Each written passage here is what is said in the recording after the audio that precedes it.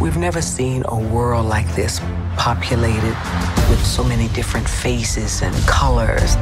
It's a beautiful thing to see. About to show these boys how we do it. We're all recognizing that these stories need to be told about women. Wanda, for vulnerability in her emotional life is when she's at her most powerful. It's important to recognize yourself. You could watch it and think, people that look like me, we can be superheroes too. It's so important for women to be behind the scenes as well. We need all those voices at the table. I learned when you are tested, you're stronger, taller, bigger than you thought. I'm not interested in the glass ceiling. I'm interested in the brick wall. Because if I take down the brick wall, then we can redesign the building. And that's the only way to go forward. We have the power to represent what the world looks like today.